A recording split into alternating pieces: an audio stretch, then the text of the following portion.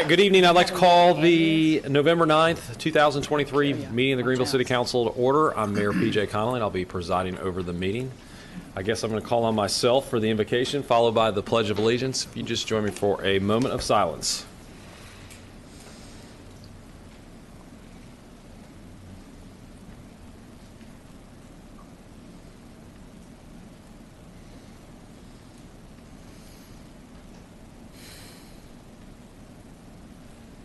All right, thank, please stand for the Pledge of Allegiance.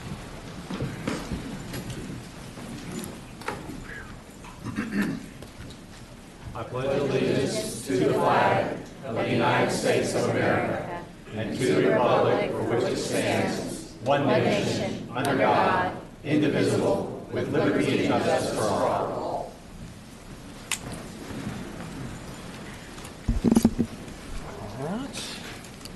Madam Clerk, will you please call the roll? Yes, sir. Mayor Connolly, Here. Mayor Pro Tem Glover, Here. Councilmember Daniels, Present. Councilmember Blackburn, Present. Councilmember Smiley, Here. Councilmember Robinson, Here. Councilmember Bell. Here. All right, Mayor Connolly, you have a quorum. Thank you very much. Now, this is going to be really strange. I usually say Madam Manager, but tonight I'm going to say, do I say Mr. Manager? That sounds good. Mr. Manager, um, do you have any recommended changes for the approval of tonight's agenda? Yes, Mr. Mayor, I received a request from the applicant for public hearing item number 11, ordinance requested by Rennsport Motorwerks LLC to amend Title 9, Chapter 4, Section 86G fraternity or sorority to withdraw and remove this item from consideration tonight. So therefore, I request council remove this item from the agenda. So moved. Second. I Can we just move to approve the whole thing? Sure, as amended. Yeah.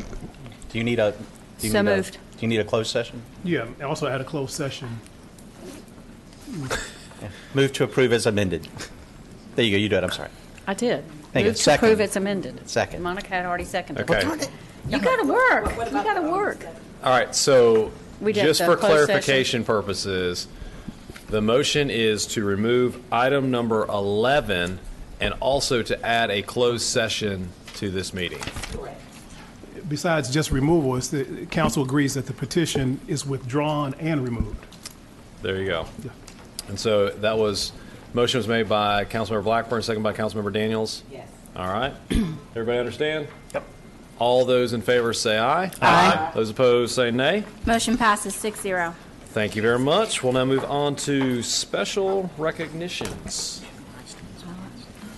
No.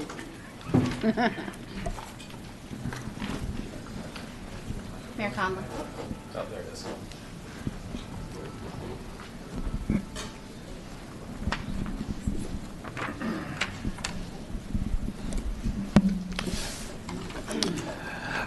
One of the honors of being a city manager is to be able to recognize uh, employees for their years of service and everything that they have given back to uh, to our community as employees of this city. I'd like to call forward right now Calvin Burney with the Public Works Department here tonight.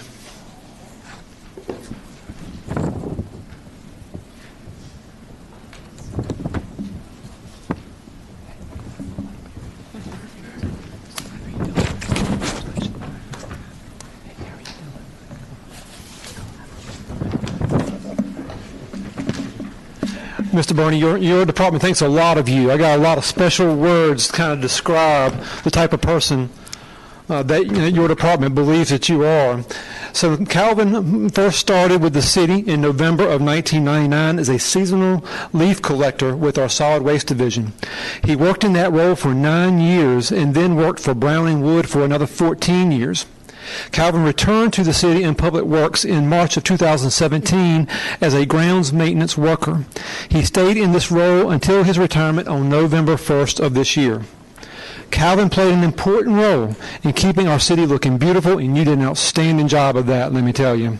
He handled all beautification requests submitted from our residents, as well as addressing his standard beautification routes on a daily basis. Calvin is a very outgoing, friendly person. Citizens um, knew his route, and they would stop him to inform him that he was doing a great job. If he finished his route early, he would assist the right-of-way crew in their beautification efforts around the city. Now here we go. Calvin was very dependable and all, was always willing to expand on the tasks requested of him. He assisted many times with cemetery personnel and provided great services leading processions to the cemetery. His one condition to supervisors is make sure I get out before dark. I love that. On his days off, he would often cook for his fellow crews. Listen to this. He would bring in rutabagas, fried lacy cornbread, oxtails, and dried butter beans as he loved the fellowship with his co-workers. Calvin Burney will be missed for his work ethic, great meals he provided, his bright s- uh, smile, and joyful demeanor. And let me just say, when you have those words that are spoken to you at retirement, that means that you are really loved by your department. And I just so thank you for everything that you have done on behalf of the city. Thank you.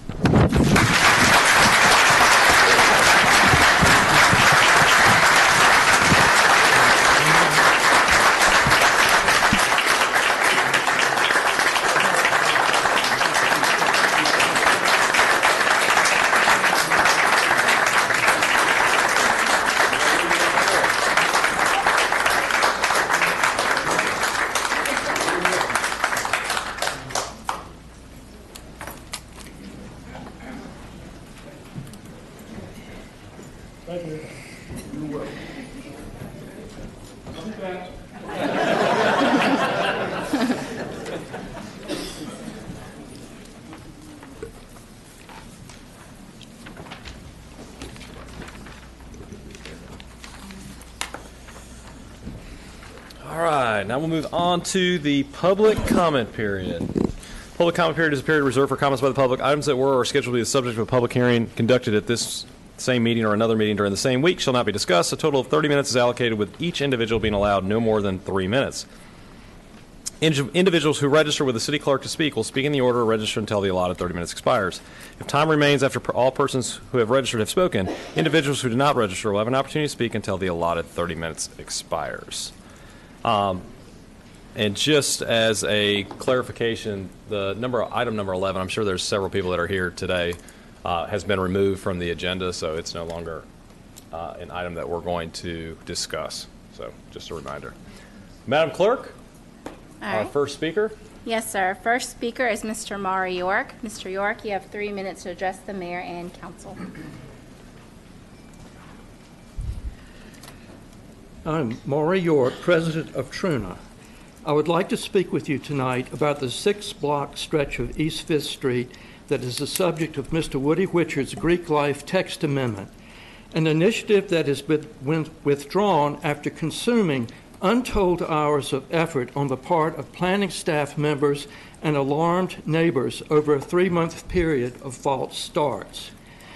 The magnificent oak trees planted years ago by the Brown family made this part of Fifth one of Greenville's most picturesque thoroughfares, a thoroughfare that runs past the front entrance of ECU and provides access to Cypress Glen, Greenville's premier senior living community.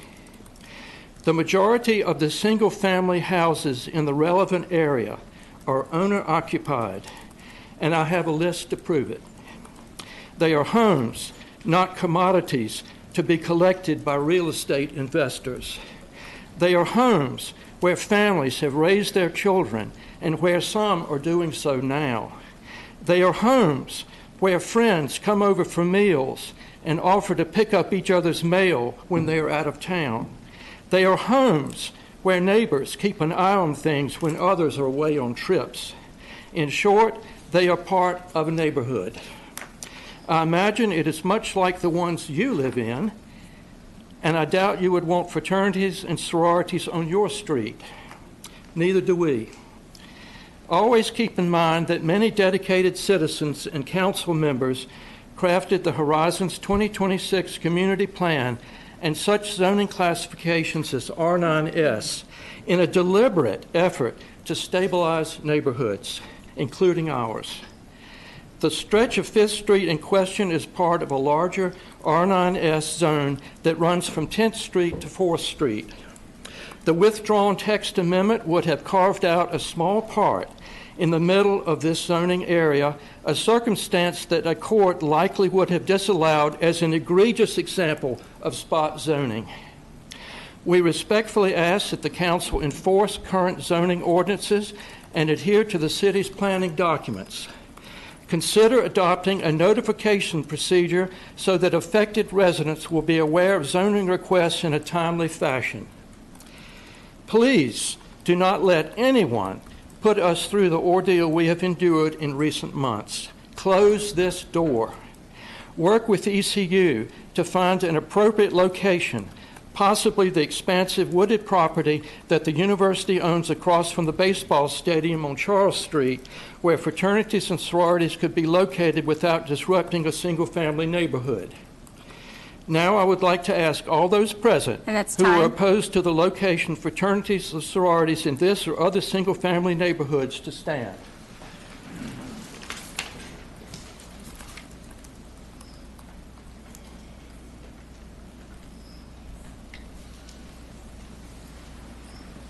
All right, thank you, Mr. York. Madam Clerk, our next speaker. Yes, our next speaker is Mr. Bill Crew. Mr. Crew, you have three minutes to address the mayor and council. My name is Bill Crew. I live at 2011 East Fifth Street, and I'm in opposition, as uh, Mr. York is, to proposed amendment changes, ordinance changes. I uh, have kind of lived uh, this horror that a fraternity house will propose to a neighborhood like this. Uh, In 2017, a house was purchased next to mine on corner, I live on a corner hilltop, a two-story house, was purchased for the use of a, uh, supposedly for his son to come to ECU. Turns out to be, it was a a fraternity house. Um, It was a Kappa Sigma. Uh, They held meetings there, they held parties there. Uh, The ambulance had to come numerous times. Uh, The police had been called numerous times for loud parties.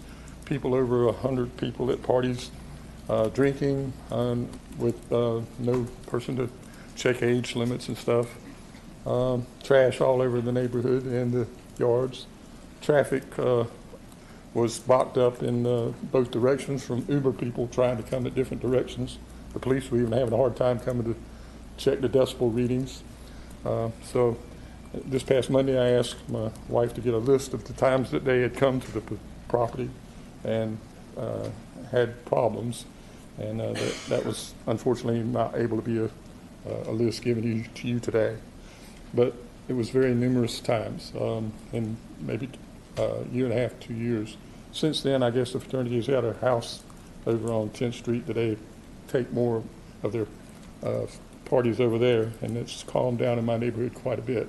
But I see the potential for what the problem could be for our neighborhood, and it kept people awake, it kept neighbors with children uh, awake. Uh, It was, the fire department had to come for bonfires.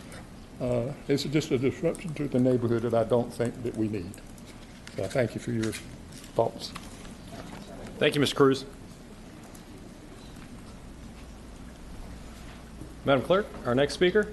Yes, sir. Our next speaker is Mr. um, Mr. Andrew Moorhead. You've got three minutes to address the mayor and council.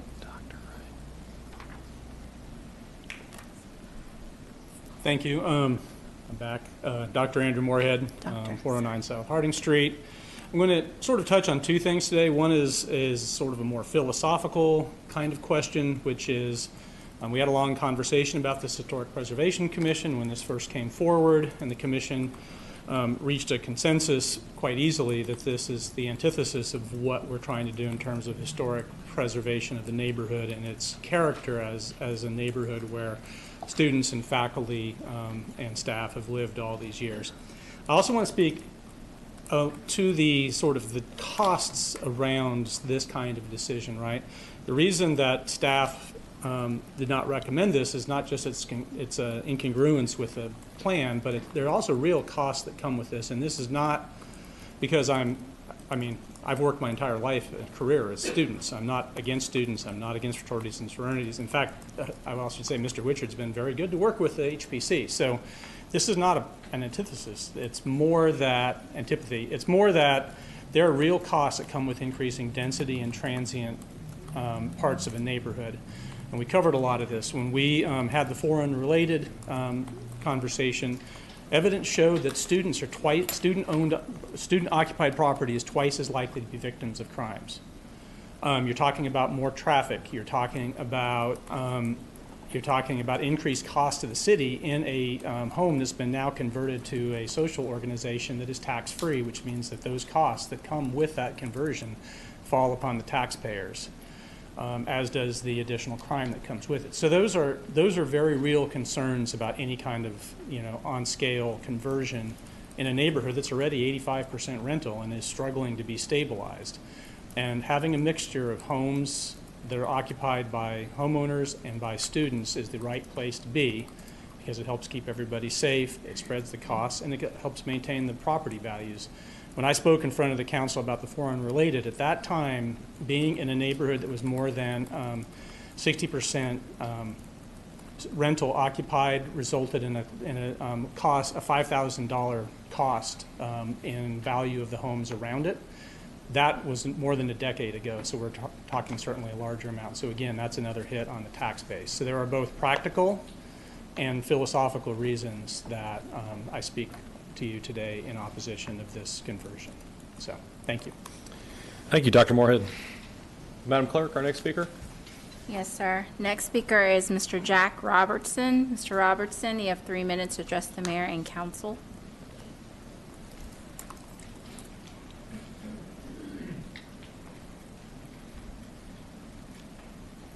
Thank you for this opportunity to uh, address the uh, council. I'm uh, Jack Robertson. I'm the, I live at Cypress Glen. I'm the Cypress Glen representative on the uh, uh, Tar River University Neighborhood Association Truna Board. And I, I, uh, I'm here with the uh, Executive Director of Cypress Glen, Laura Stallings. We want to express our concern about uh, issues like this item 11 for the rezoning request uh, and how that will affect uh, the entire neighborhood that includes Cypress Glen. We uh, strongly oppose any initiative to uh, do spot zoning in in that uh, residential neighborhood. That's one of the qualities of the neighborhood that uh, uh, appeals to the people that come to Cypress Glen, who is a strong community uh, group in this uh, city. So I would, uh, Laura Stallings has uh, sent a letter to each of the board members, and I, uh, I was going to read that letter if, if this issue was not taken off the agenda, but uh, hopefully uh, you all read that, uh, that letter, and it expresses our concern. We're not against sororities or fraternities, of course. Uh, We think there's a place for them, and it's not on Fifth Street in the residential area. So, uh, uh, on a personal note, I'm appalled at the shameful way this issue even came to the council and to the commission. Uh, and I'll close with that. All right. Thank you, Mr. Robertson. Madam Clerk, our next speaker? Yes, sir. Um, Chris Mansfield, you have three minutes to address the mayor and council.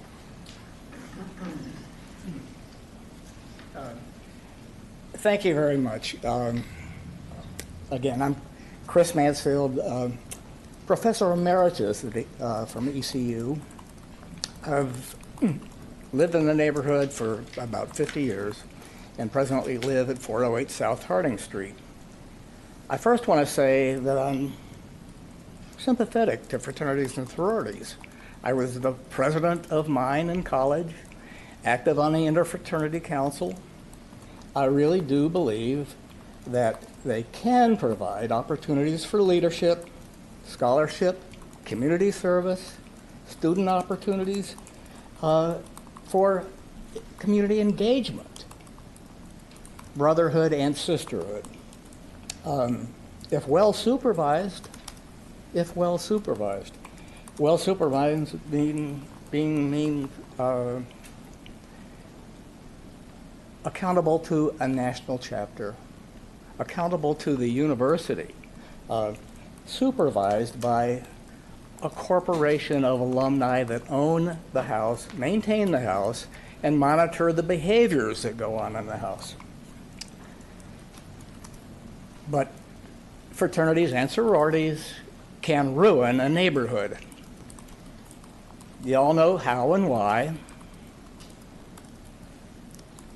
I believe it's one of the reasons why the Dale House remains unoccupied. So please don't ruin any more of Fifth Street with a rezoning for fraternities and sororities.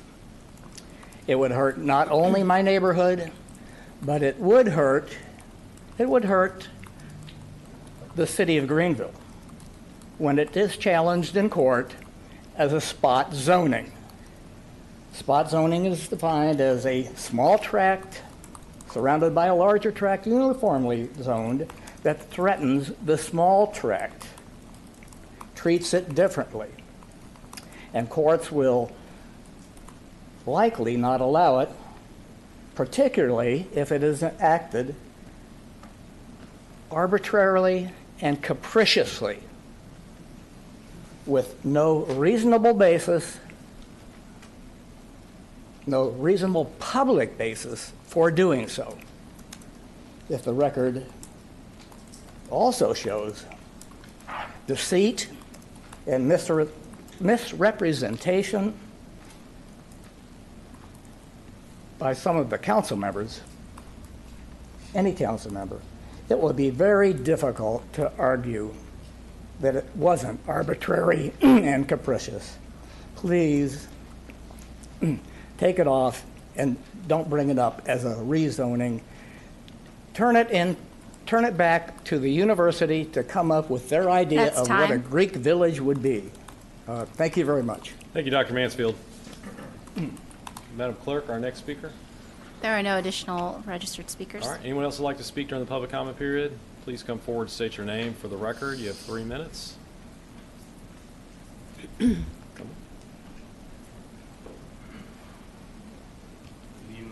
Good evening. Good Um, my name is Anthony King. Um, I just wanted to ask about the uh, public bus system. Um, there's supposed to be, I, I assume there was supposed to be uh, uh, a route to the DMV that was moved to Martin Luther King Highway, but there isn't. The closest stop is about a mile away. So I just wanted to know, was there anything in the works for that, or is there anything we could do? Uh, Mr. King, if you could get with uh, us- uh, Deputy City Manager, Mr. Graves, right there, he can help you out with that. I mean, do we know the answer to that question, though? That we could, I do not know. you don't know it? Okay. Okay, be nice to the public know. Okay. Anyone else would like to speak during the public comment period, please come forward, state your name for the record. You have three minutes.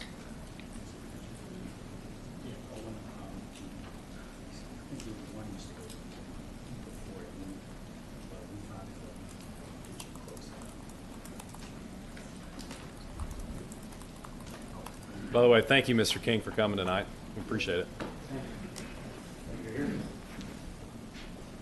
All right, seeing none, we'll close the public comment period. And if I may, I just would like to thank everyone who came out tonight to address this issue. And um, you've been heard, and the item has been withdrawn from the agenda. I think we are looking at a period of incredible growth in the sorority and fraternity community. And as was mentioned tonight, the idea of a Greek village. And I think as we look ahead to the future, it's going to be very important for us to work with the university, the city, and the neighborhood to make sure that we have a solution that allows the fraternities and sororities to live their life and to have their social events and to have their meeting places and not worry about trying to squeeze incompatible uses together. So thank you for coming out.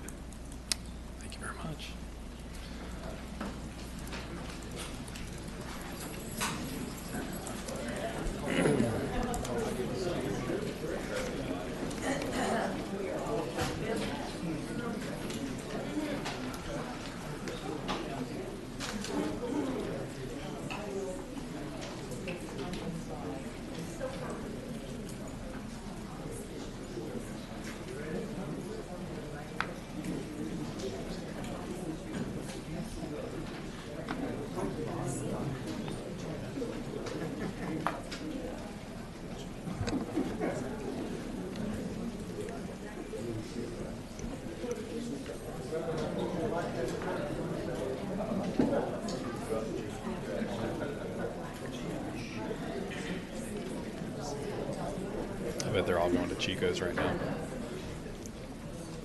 That'd be pretty cool. Did you say it's not really bad? Huh? Important. That. I don't miss any of that. All right, we'll move on to the consent agenda. Mr. Manager. Oh, appointments. I'm sorry, I'm sorry, appointments. Madam Clerk, we'll move on to the appointments. Get a little excited, jump into the appointments. I don't want to, I don't want to get you out of your time to shine.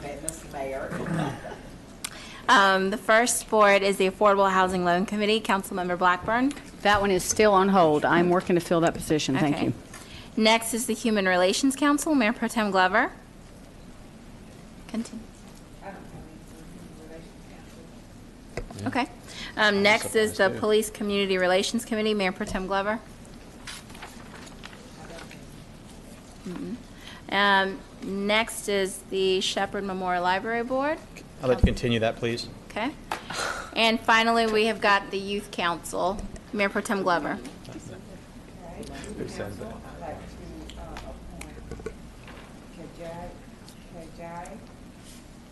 Uh-huh. and Rihanna Knight. Okay. Second. Second. All right, motion's been made by Mayor Pro Tem Glover, second by Councilmember Bell. All those in favor say aye. Aye. Those opposed say nay. Motion passes six zero. Congratulations, Kajai Fu and Rihanna Knight. Okay.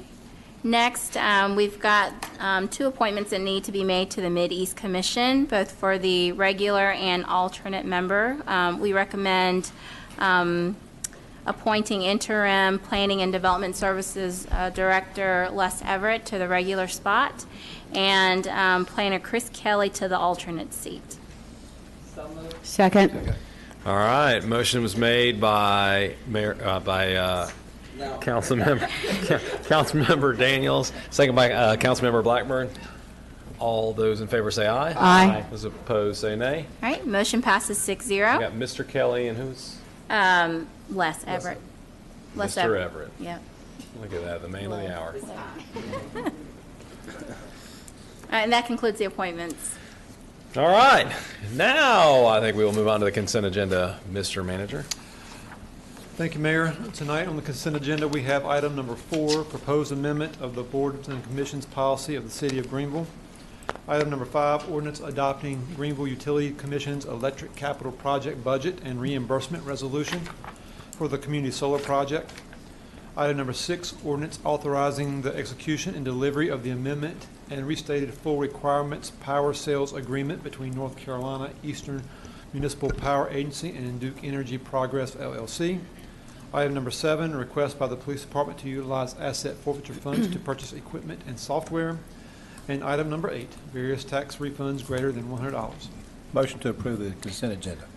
You are too fast. You're too fast. I- I- Councilmember Robinson. I know, I Yes, know a ma'am. Go right colleague, ahead. I know a colleague that likes to pull something from the consent agenda. And, and as a matter of fact, I would like to pull an item from the consent agenda. Um, I'd like to pull, please, item number five from the consent agenda. Motion to approve consent agenda, absent item number five. Second. All right, motion's been made by Councilmember Robinson, second by Councilmember Smiley. All those in favor say aye. Aye. Those opposed say nay. Motion passes six zero. We'll move on to item number five. Mr. Item number- Manager? Item, item number five, ordinance adopting Greenville Utility Commission's electric capital project budget and reimbursement resolution for the community solar project. I would call forward GUC General Manager and CEO, Tony Cannon.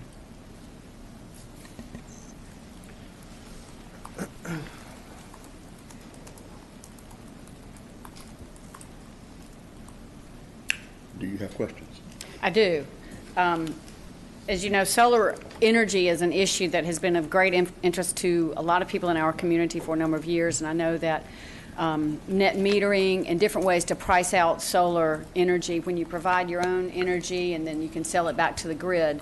Um, So what I'd like is just a little bit of information about what, what this is, the project, and a little bit about how that might change or incentivize more use of solar energy. So this is about a half a megawatt solar farm that we would be constructing out near our wastewater treatment plant near Bradford Creek. Uh, It is a subscription project, so it'll be about a half megawatt. We will sell subscriptions to solar panels to interested parties, and then they would consume that electricity. They would receive a credit for that on their bill. What is the rate, if you, if I wanted to buy solar power, which I would love to do, will I pay the same rate as other GUC customers? Uh, the, the rate is at an avoided cost that you would get a credit for that has been calculated, almost that's around 5.9 cents. And, and how does that compare with the regular GUC rates? Our regular rate's right around 9 cents. I'm sorry, it's what?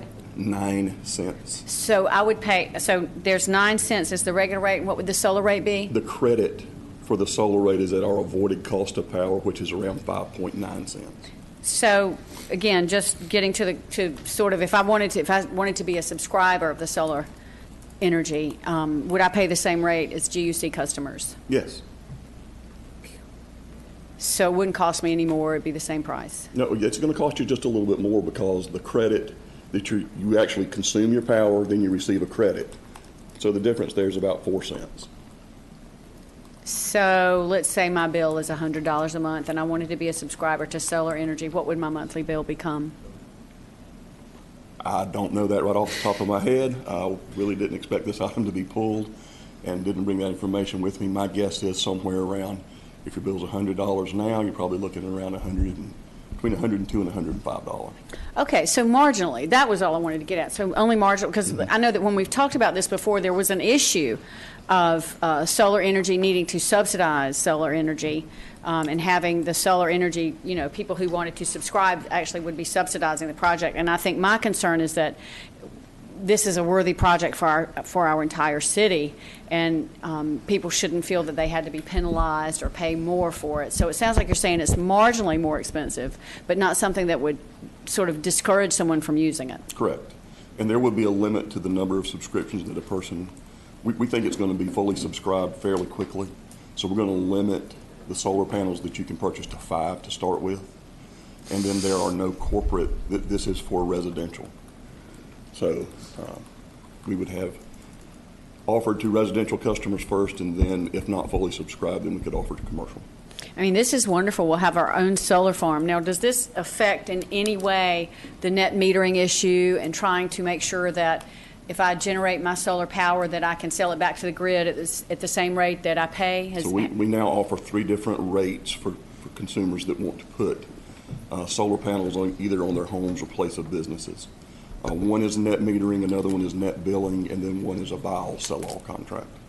So all in all, it sounds like this is really a good day for, for alternative energy sources and that we're really being progressive by having our own solar farm and also having this progressive way of uh, selling energy back to the grid. Well, this was an option that was asked for uh, when we did our customer survey last year. It's taken a little while to develop it. It'll probably take about 18 months to build it. I couldn't be happier. This is great news. Mr. Cannon, thank you so much. Thank you. And one piece of this that I think is an interesting summary, at least what my understanding was, and you can confirm this, is that the way this is set up is that the full lifetime cost of building and operating the solar farm is being divided into the amount of um, that to the number of people who would like to subscribe to it, and then they'll simply receive whatever power it generates.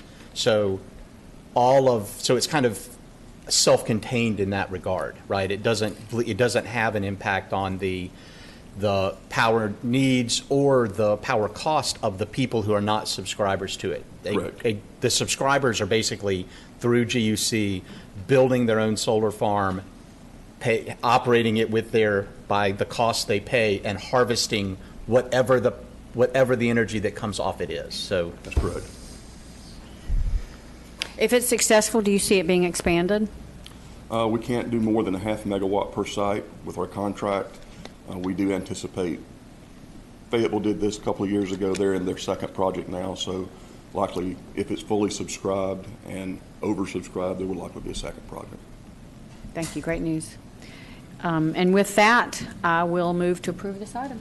Second. All right, motion's been made by Councilmember Blackburn, second by Councilmember Smiley. All those in favor say aye. Aye. Those Opposed, say nay. Motion passes six zero. All right, thank you very much, Mr. Cannon. We'll now move on to new business, which is the public hearings. This is the policy of the public hearings adopted by the city council. The petitioner or representative of the petitioner and a leader of those in opposition will each have 10 minutes. Persons following them will have up to three minutes each, with a total for each side of no more than 30 minutes. Additionally, I want to remind those in attendance to extend the courtesy to persons speaking during the public hearing and to the city council during discussions. Comments made by members of the public are to occur only during the public hearing as allowed by the mayor in, ad- in accordance with adopted policy of the city council.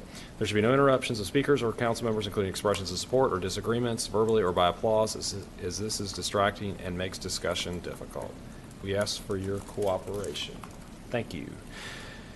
Mr. Manager, please proceed with the first item for the public hearing. Thank you, Mayor. The First public hearing here tonight is item number nine, ordinance to annex Abigail Trails Phase Two property involving 9.6363 acres located 965 plus or minus feet east of Frog Level Road at the current termini of Abigail Taylor Drive and Sarah Rebecca Drive. Now call forward uh, City Planner One, Chris Kelly. Good evening. Good evening. Good evening.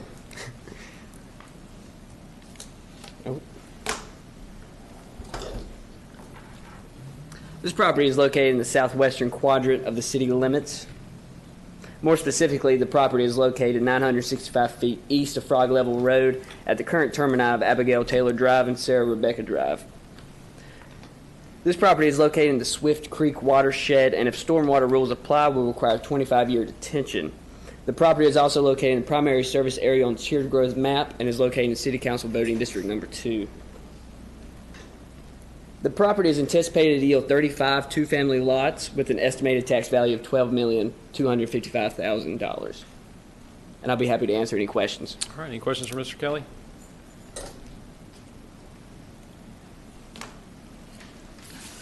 All right. Seeing none, thank you very much. Public hearing is now open. Those who speak on behalf of the applicant may come forward. Please state your name for the record. The first person has 10 minutes. All others have three minutes.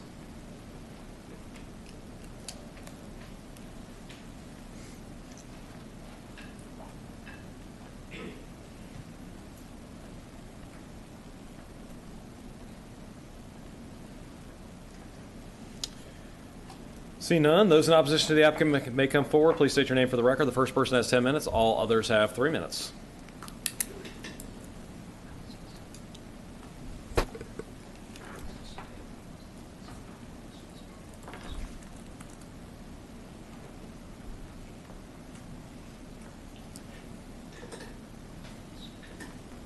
Seeing none, the public hearing is now closed. Open for a board discussion or a motion. Move to approve. Second. All right, motion been made by Councilmember Bell, second by Councilmember Robinson. All those in favor say aye. Aye. Those opposed say nay. Motion passes six zero. All right, we'll move on to item number 10. Mr. Manager.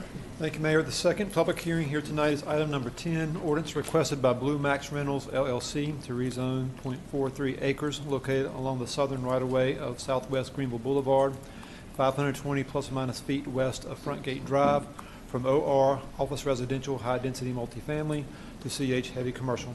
Again, I'll call forward City Planner Chris Kelly.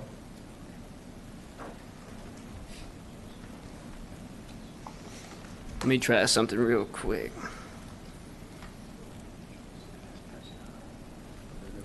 Nah. All right. This property is located in the southwestern quadrant of the city limits, or the city. More specifically, this property is located along the southern right-of-way of Southwest Greenville Boulevard and 520 feet west of Frontgate Drive. This is an image of the, pro- uh, a photo taken of the property off of Southwest Greenville Boulevard. Uh, to the left will be Frontgate Drive. This is a survey of the entire property. I've outlined the portion of the property in red for you tonight, 0.43 acres. This property is located in the Greens Mill Run watershed, and if stormwater rules apply, it will require 25-year detention and nitrogen and phosphorus reduction will be required. The property is not located in the special flood hazard area, and no jurisdictional wetlands, streams, and riparian buffers exist on the property. Due to staff not anticipating a change in intensity between the uh, the current and requested zoning district, a traffic volume report was not generated. The request tonight is currently zoned OR and the remainder of the property being CH, uh, Zone CH. The request intends to make the entire property one zoning district, which would be CH or heavy commercial. The future land use map, uh, the future land use and character map recommends commercial at the southeastern corner of Frontgate Drive and Southwest Greenville Boulevard. Um, this transitions into office and institutional to the west. The requested zoning is commercial. Um, again, the intent of the rezoning is to make the property one zoning district instead of being split zoned. In staff's opinion, the requested zoning is in compliance with the horizons and the future land use plan. Therefore, staff recommends approval of the request. And on October 17, 2023, the Planning and Zoning Commission unanimously uh, voted to approve of the request. I'll be happy to answer any questions. All right, any questions for Mr. Kelly? Councilmember Blackburn. Shock, I have questions. Can you put the map back up that showed the surrounding zoning, if you wouldn't mind, please?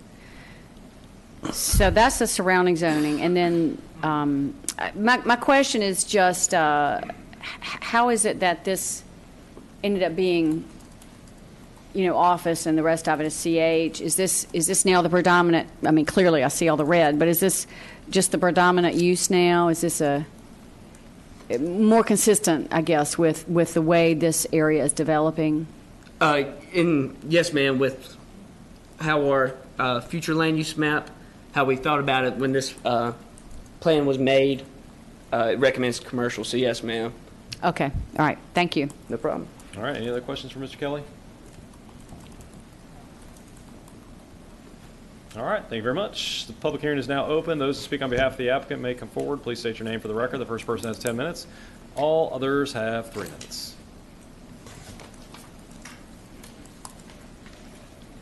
Hey, good evening. Uh, Good evening. My name's Connor Linton. I work for Kimley Horn, civil engineer for this project. I don't have anything else to add, but happy to answer any questions council may have. All right. Any questions? I think we're good. Thank you very much. Anyone else would like to speak on behalf of the applicant, you may come forward. Please state your name for the record. You have three minutes.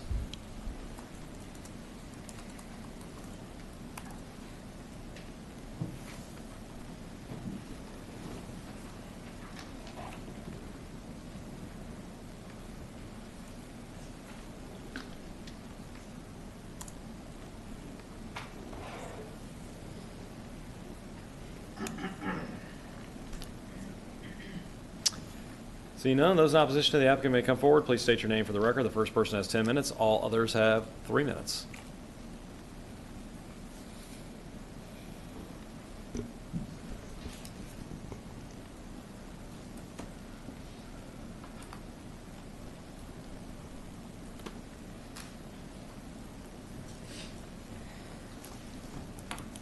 Seeing none, the public hearing is now closed. Open for a board discussion or a motion. Motion Second. All right, motion was made by Councilmember Robinson, second by Councilmember Blackburn. All those in favor say aye. Aye. Those opposed say nay. Motion passes six zero. We will leapfrog over 11, close out the public hearings, and move on to other items of business. Item number 12, Mr. Manager? Mayor, item number 12 is the first reading of ordinances requested by the Neighborhood and Business Services and Planning and Development Services Departments to repeal and replace, as amended, Title 9, Chapter 1, Inspections and Code Enforcement, and Title 12, Chapter 3, Weeds, Bless Vegetation, you. and Other Public Nuisances.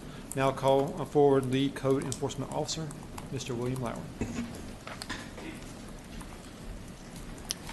Good evening. Good evening. Good evening. Okay, so this is going to be the first reading of the uh, various updates for Title 9, Chapter 1, and Title 12, Chapter 3 of the City Code. Uh, The project overview of the City Code updates is to update the City Code to align with North Carolina general statutes. Uh, City Code related to code enforcement, inspections, and public nuisances have not been updated in many years.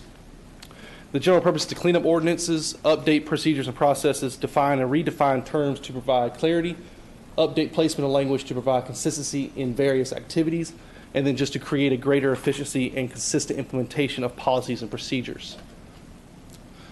The project overview continued is to focus on two titles Title 9, Chapter 1, which encompasses inspections and code enforcement, and then Title 12, Chapter 3, weeds, vegetation, and other public health nuisances. These are examples of the Title IX, Chapter 1 update, and just to clarify, this is to align it with the current NC general statutes and North Carolina technical terms. Um, Example of Section 9160 changes of work is to update it to the general statute language. Underlined is to include those uh, verbiage. The Title 9, Section 9192 definitions is to update the uh, designation of code enforcement coordinator. It'll now say code enforcement supervisor. That's been the job description title for some years now. And then the very bottom is the update to minimum standards. And this is to align with the current technical codes. We're not creating any new standards.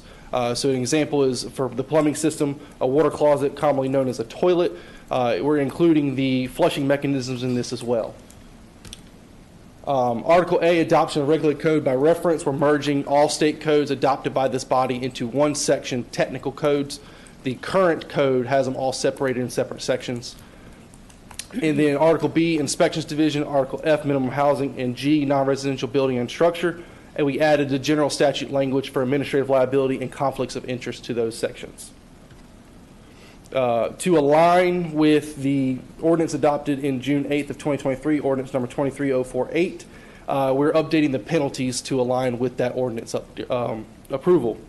Those articles are Article C, enforcement, F, minimum housing, G, non-residential building and structure, and Article H, regulations on vacated and closed buildings or structures and dwellings. Uh, as shown at the bottom, the first violation is $100. The second violation within the same year as the first is 250 and then third and in subsequent violations when that same year is $500. Uh, for Article F, minimum housing code, process for aban- abandoned structure, which was previously Article E, has been merged into Article F, minimum housing. And then again, various technical updates to NC state codes. Um, these are just examples where, for example, the porches and raised platforms minimum standard, our current code says 40 inches above ground requires railing. The current state code is 30 inches. Um, for minimum standards and smoke detectors, we've updated that language to align with state building code and then added the language for carbon monoxide detectors. And then again, added general statute language for administrative liability and conflict of interest. Uh, under responsibilities for pest elimination, we've updated that to now specify property owners are solely responsible for pest elimination, with the exception is when the code enforcement officer determines the occupant is the cause of that uh, uh, pest. Under Article H, regulations on vacated closed buildings and structures and dwellings, we've developed definition and enforcement procedures. The inclusion of a notice period for property owners to secure or resecure their properties before enforcement action, and then failure to remediate could result in civil penalties or abatement by the division. An example of abatement is the city coming in and resecuring that property. Moving on to Title 12, Chapter 3, these are just some examples of some updates that we're doing. Uh, for Section 1233E, um, that's just, it says general open collection of stagnant water and insects to tend to breed. We had two other sections that mirrored that to encompass some stuff, so we merged that all together under one section. Article G, any concentration of building material and uh, open, open storage of building material, we've added that to a new section with uh, firewood and other similar materials need to be elevated at least six inches off the ground. And then Article C, graffiti, we've uh, updated that definition to be more clear and precise um, to take away the aspect and be a little more clear on what the type is. Moving on to vegetation, we created an allowance for properties greater than one acre. This will allow for a cut depth of 20 feet from the improved road surface. Um, but, however, if the property abuts an adjoining property with buildings or structures, residential or commercial, it will require a 100 foot cutback. We created a definition section for Article A nuisances, which allows a clear definition for the type of nuisances enforced by the division. The addition of language for enforcement of items uses tables and front yards of properties and then length of time of which a property owner is determined to be a chronic violator under the public nuisance ordinance. Moving on, updated appeals process to allow more internal review. Uh, property owners will have 10 days to submit an appeals request in writing to the code enforcement supervisor. Appeals of that decision will move to the director of neighborhood and business services or their designee within five days, and then appeals of the director's decision would go to the board of adjustment, and that will follow general statute guidelines. And then Article C graffiti, uh, the entire article was updated to allow efficient, consistent enforcement of processes, and we work closely with the police department to update that article. And then again, as stated in Title IX, we updated our penalties to align with the ordinance that was approved by the body on June 8th, 2023.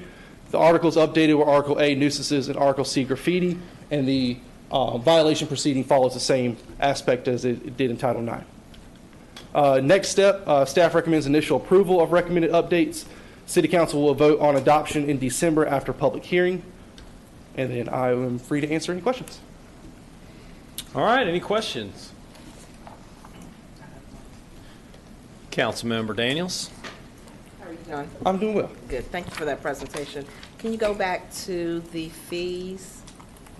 So after the third um, violation, do we take them to court and it includes fees, court fees and things like that? Or how does that work? No, ma'am. Uh, if it's um, each subsequent violation will be just five hundred dollars after that until they bring the property into compliance. Oh, 500 on to 500? Yes, ma'am. Oh, Um, but if the property, i- if the violation is abatable, then the city will proceed to just abate the nuisance and remediate the issue that um, that way. great, thank you. Yes, ma'am. All right, any other questions?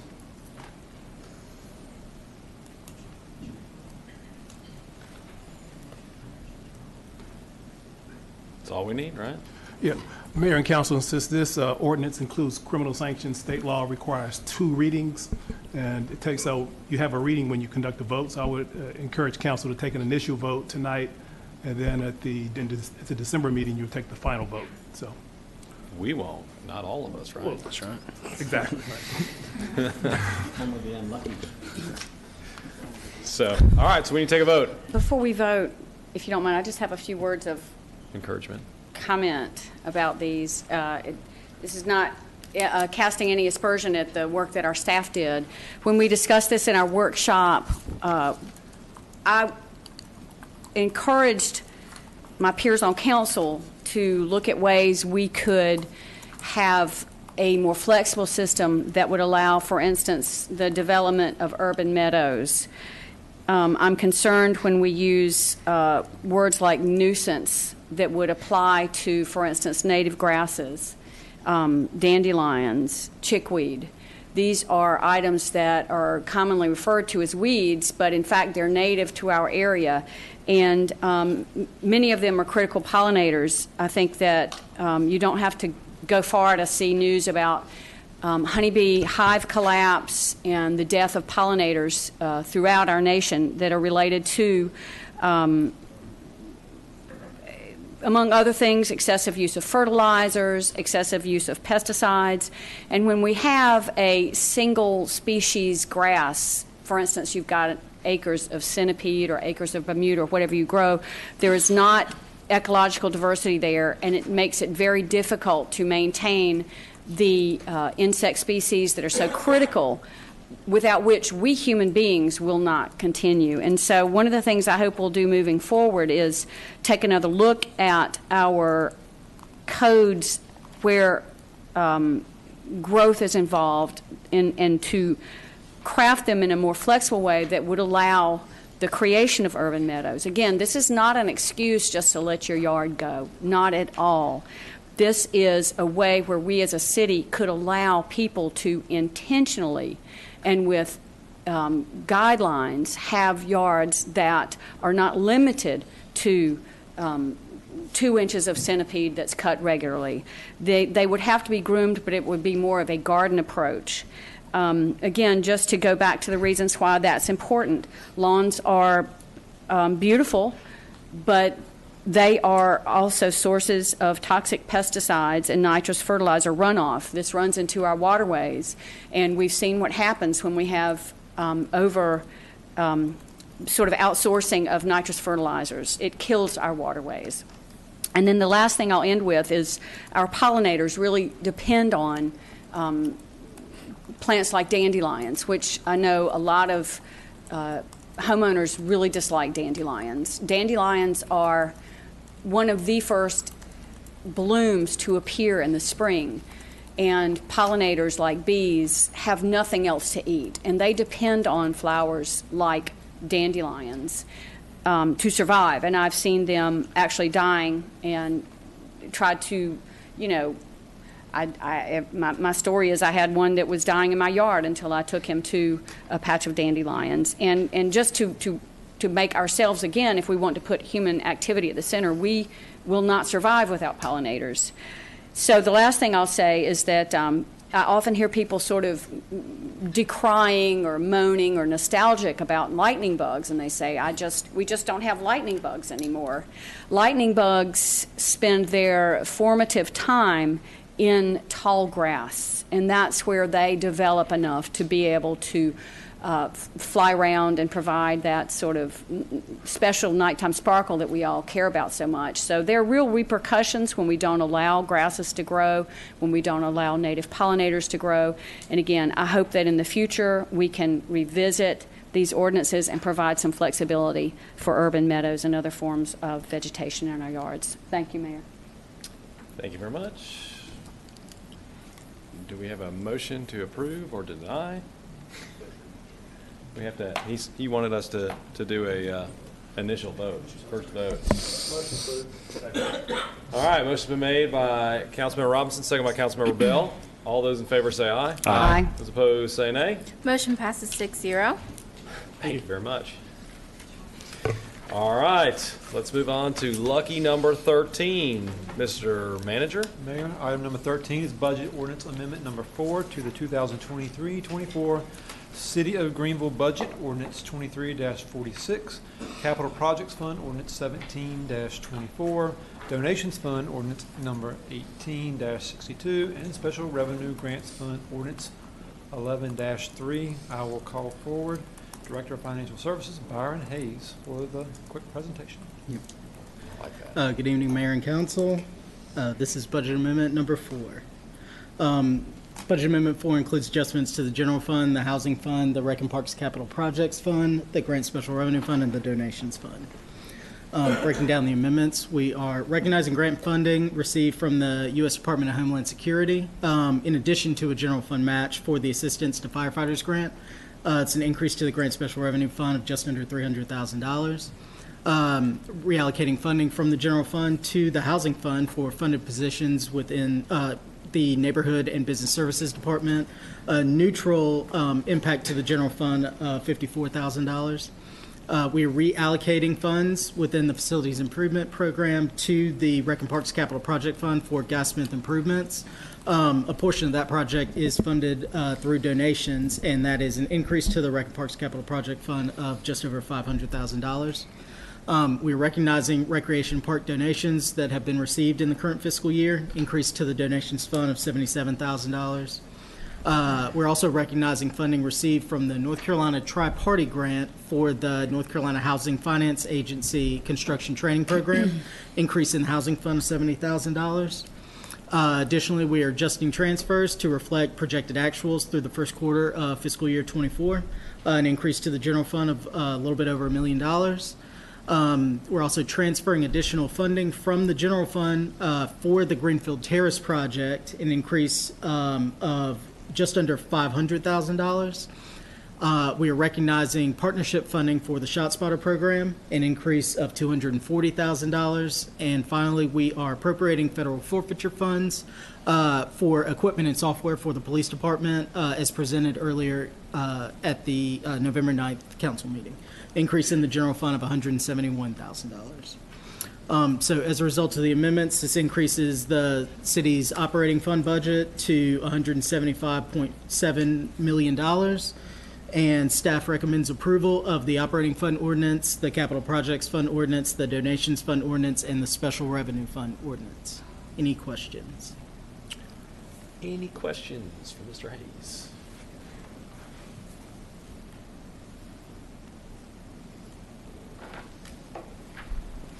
Nothing? No questions? Nothing? Move to approve the item. Second. All right, motion's been made by Councilmember Smiley, second by Councilmember Blackburn. All those in favor say aye. Aye. Opposed, say nay. Motion passes six zero.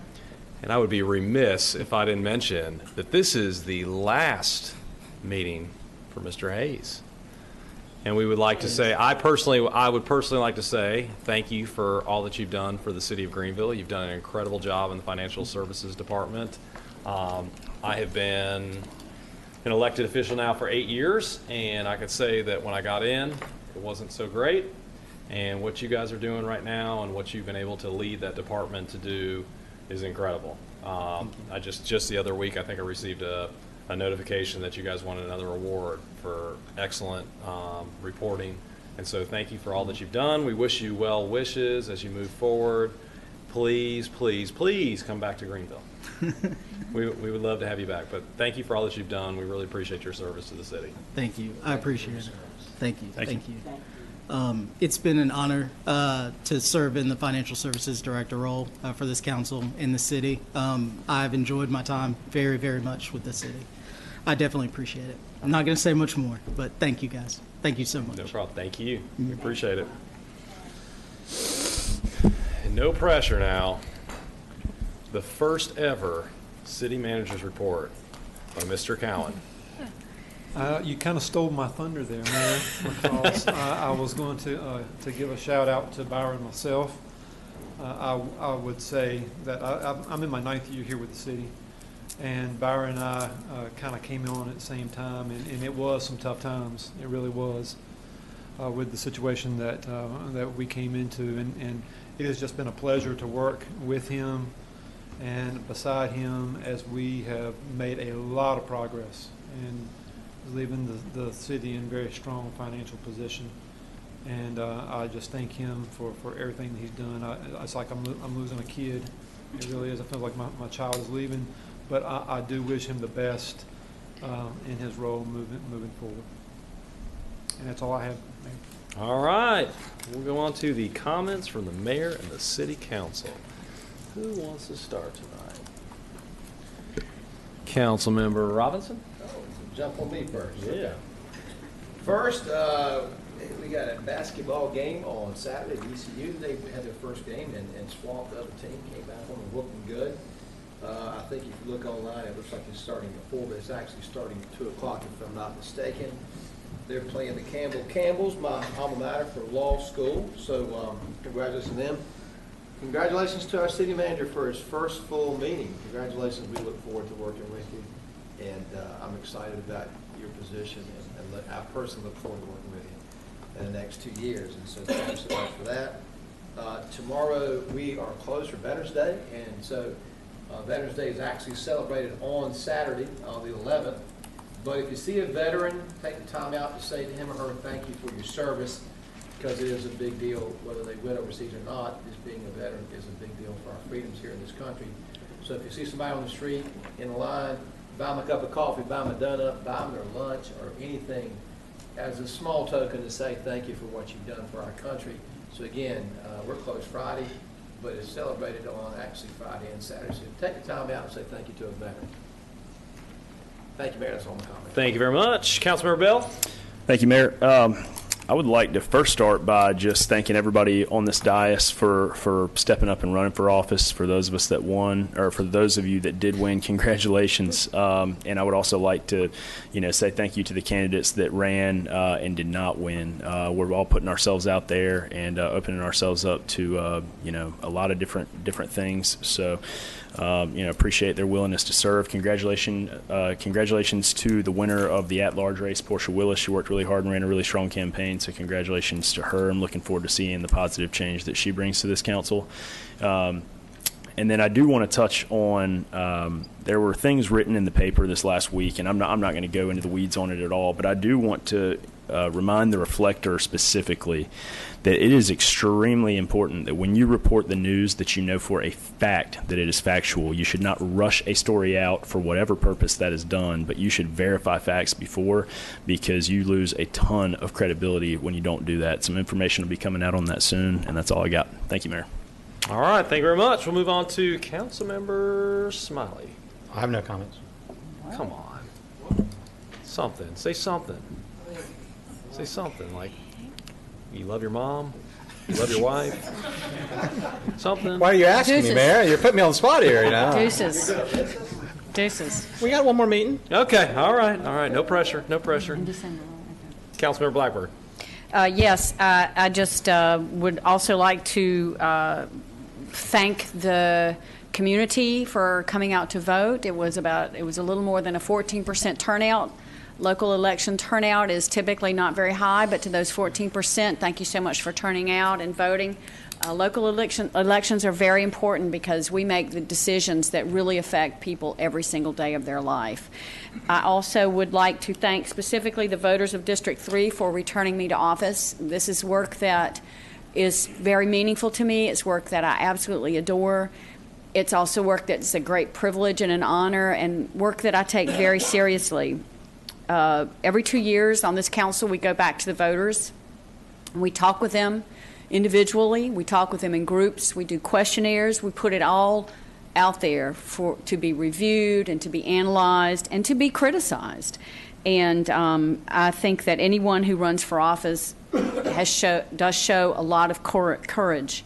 And to my peers who ran this time, I feel that I was amongst a very good group of people, an excellent group of people who, uh, for the most part, did their homework and presented their ideas in a respectful way. And um, it was it was a, a very vigorous election season. And again, thank you to the voters of District 3 for returning me to office. And you know how to get in touch with me, and I'm sure that you will about your concerns. I would also like to just briefly mention um, I've seen a whole lot of news coverage about the Gervais, I'm not sure I'm pronouncing that right, the whale that washed up alive in it, in, on Emerald Isle, on the beach at Emerald Isle, and this whale was alive. And let's not forget that whales are very, very intelligent. Um, they're no doubt uh, uh, very high reasoning, very high emotional level. And this whale washed up alive on Emerald Isle shore and has since, is, of course, died. And the reason that this whale died was because the whale ingested a mylar balloon. The whale ate a mylar balloon. And this gets back to the proposal that I made that I understand seemed very perhaps strange to a lot of people. They couldn't understand what's the harm in releasing balloons. And I am appreciative of my colleagues, council members Daniel and Smiley, who supported that initiative.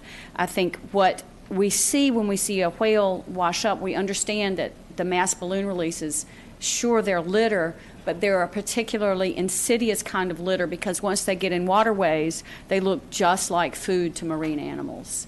And moreover, they have consequences for us as human beings. And I just would like to say that I'm glad we have begun the community conversation about those mass helium balloon releases, and you don't have to look far to see the harmful consequences that they have for our environment. And that's my comments. Thank you. Thank you very much. Councilmember Daniels? Thank you, Mayor. Um, I also would like to wish everyone, um, excuse me, not everyone, but a happy Veterans Day to our veterans and to thank you for our service. There will be a program, um, excuse me, to honor our veterans at the Town Common this Saturday and at 11 o'clock a.m.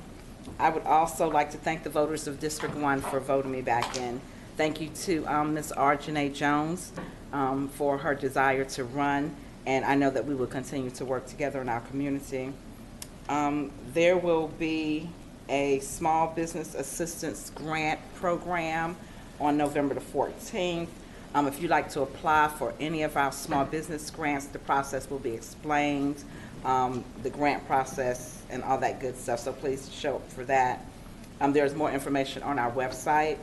Um, There will also be a shred event on the 18th, I believe it is, on the 18th at our Public Works Department, so bring all your shred, shredder items out for that. And I would like to um, congratulate Mr. Ivory Mewborn in the town of Ayden, as he was elected the first African-American mayor of Ayden. Thank you. Uh-oh, this is gonna be long. Mayor Pro Tem Glover. I'd like to thank um, everyone that um, came out to vote and uh, exercise your right to vote because it's not, it's not a right that we take um, lightly because we know for, we had to go fifty years to vote. And So um, if you don't vote, please get out and vote at the next election, whenever there's an election. Um, um, Secondly, um, I just want to thank um, husband for um, putting up with this for 23 years and, um, and putting up with me being going in and out all the time. After we retired, we retired when I went on, oops, my mic's on. We retired when I went on uh, the city council, so, um, um, and I've been on the city council ever since I retired, so I'm gonna go to retirement now. And I'm gonna en- enjoy life and enjoy the people all around me. My sister's coming home from Connecticut and she's excited and we're excited for them to come. And so we're just gonna, um, be happy, be together and love each other. And the staff, I know I gotta speak again, don't I, at the next meeting? Okay, well, I'll cut some of it off then. I'll cut some of it off this time. I'll put through the rest at the next meeting. Thank you, Mayor. All right.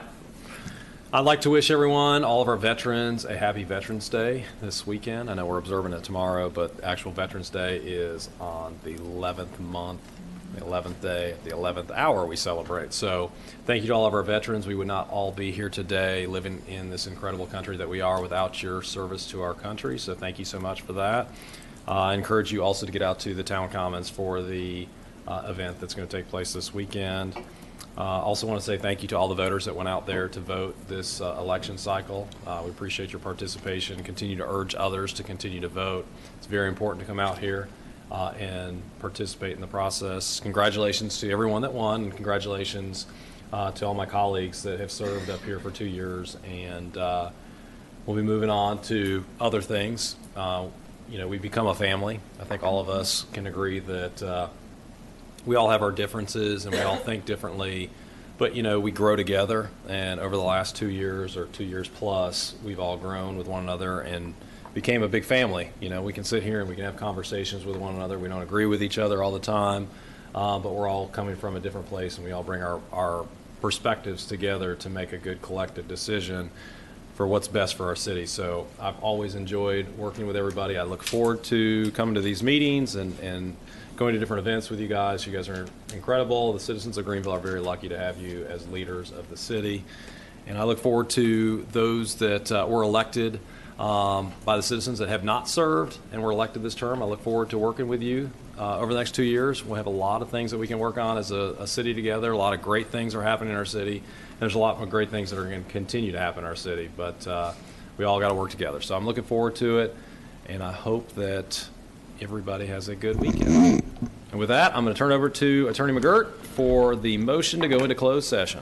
Uh, Thank you, Mr. Mayor. Uh, Mayor and council members, I recommend that council adopt the following motion holding a closed session pursuant to North Carolina General Statute, Section 143-318.11, for the following reasons: to to consult with an attorney employed or retained by the public body, to preserve the attorney-client privilege between the attorney, including for the purpose of the public body, considering and give instructions to an attorney concerning the handling or settlement of a claim or judicial action. Second, to discuss matters relating to the location or expansion of industries or other businesses in the area served by the public body, including agreement on a tentative list of economic development incentives that may be offered by the public body in negotiations. Move to adopt that motion. Second.